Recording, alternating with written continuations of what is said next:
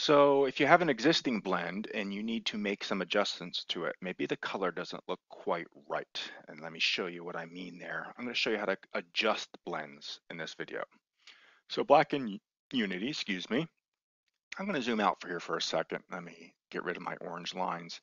And if you look at uh, these two blends, all right, so there's one right here, which is going from semi to, I'm sorry, fairway to semi-rough. Okay, so our source is fairway. Our destination is semi.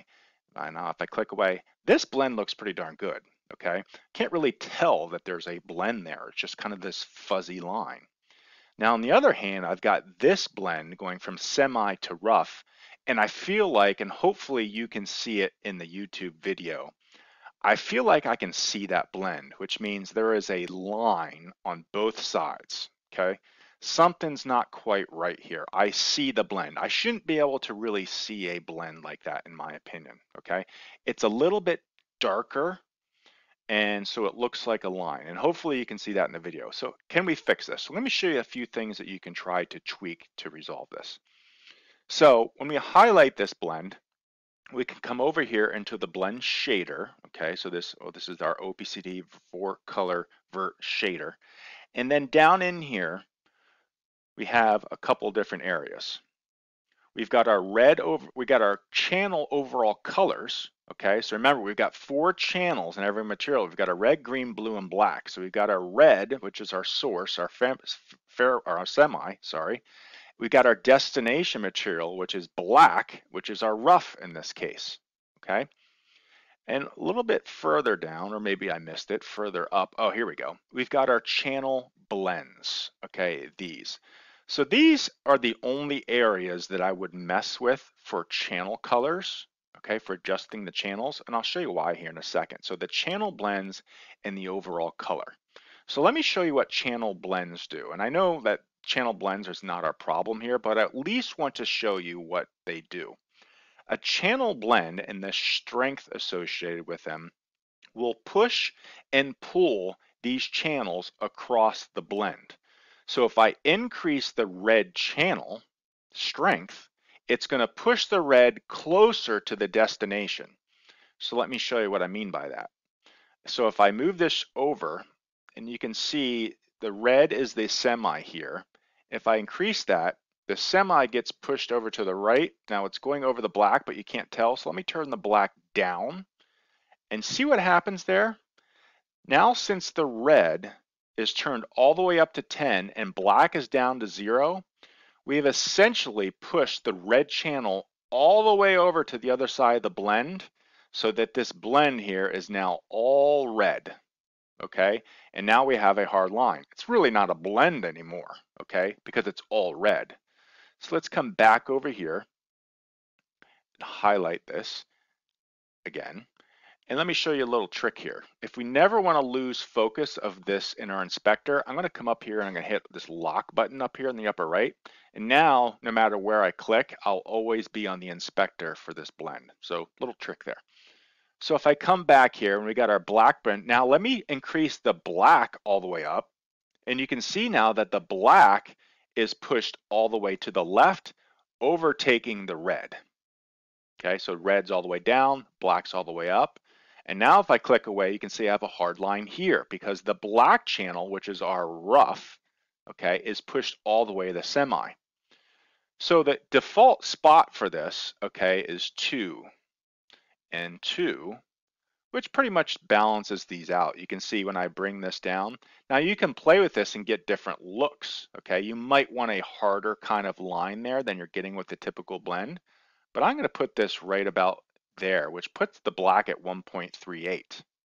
Okay, now this is going to only impact this particular blend that we're working on. When I say this particular blend, that material. So wherever this blend is being used, this blend material, it will impact all those. So you don't have to go and adjust every blend. Any blend, in my case, that is assigned this custom one that I created called blend semi-rough to rough, no more lines, default one, this will be impacted any place that is assigned. Okay, now let me zoom out. Does this still not look quite right? It doesn't to me. It still looks like, to me, the rough area, the rough material of this blend is still a little too dark. So let's go back down here and look at our colors. And you can see I've got my red, green, blue, and black color. And you can adjust these. This is the overall color of the blend, okay? So I'm gonna highlight this, and I think it needs to be lightened up a little bit. So when I highlight and I click this little eyedropper area right here, that, that's slightly gray, for some reason my mouse cursor isn't, highlighter isn't working great for some reason, sorry. Um, I can drag this, okay, up and down to lighten or darken this. Now you can see if I go over here, it starts turning red, which isn't what we want. But I'm gonna come over here and I'm just gonna drag this up to lighten it just a tad where I feel like it matches a little bit closer. And I think that's the best spot. Now let me click away. Highlight this, I'm gonna come back. So I, I want these orange lines. So I clicked away, I've got this locked. And now I'm gonna come back here to my black uh, color. Actually, it looks pretty good where I've adjusted it before. So you can see if I go too dark, what happens? And if I go too light, what happens? I'm just gonna drag this down and get it where I think it's perfect, which is right about, to me, yeah, right in between, right about there, I think. And now you can see when I zoom out, I no longer see that blend. I can't tell that it's present anymore, even though it's right here. But when I click away, I don't have that dark line. So hopefully it comes across in the video and you guys can see that, okay?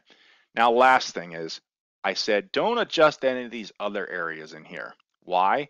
Because they're actually tied to your source and destination materials. Recall that blends, okay, blend this alpha to this alpha. So let's go into this material here, and I gotta unlock, remember I'm locked on that blend, so let me unlock, and now I am into this other material, this Opacity Mosh No More Lines Default 1. This is something I created. And I'm gonna come over here, I'm gonna do something a little bit drastic, something you normally wouldn't do, but if I'm changing these colors, so let me go the overall color of this guy, and let me change the alpha here, and let me make it pretty red. It's ugly, but it's gonna serve a point here. So I'm gonna make this somewhat red. And now, okay, when I zoom in or I zoom out, I can see this blend is really wrong. Okay, I got this hard line because it's using the old rough material. However, if I click on this, and remember, what did I forget to do? Well, I didn't do update materials. Now, if I update the materials, what happens? Well, it updates our scripted object, and now look what happened automatically. Our blend was updated too, okay? So now we've got that red that I added here, okay, in our blend material. So if I come down here in my blend, you can see that this was updated to this okay? So our black now has that same red.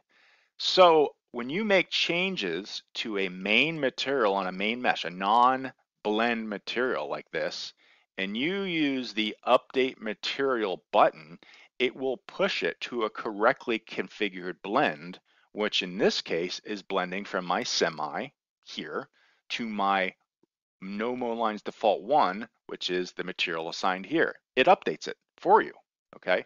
Which is great. So which is why I'm saying avoid making too many changes to the blend itself, okay? Because now, let me go back to this one, this rough area. Let me go back down to my red color here. Let me change it back to something that's more palatable, like eh, right about there is pretty good. And let me come back up here and do update materials. Now my blend gets updated. Let me click away and zoom out. However, this, it went back and it's not quite matching again. I think this needs lightened. So I'm just gonna use this overall so here. And this is what I've seen overall is that for some reason, semi to rough tends to have this problem. Not exactly sure why, but it serves as a good example for you guys. And that's, that's actually too light. Let me adjust again. Uh, this one right here. Drag it down a little bit more. Is that better? Ah, it's too dark now. I'm gonna try locking this. So I don't like doing it with the orange lines in place because it's hard to see.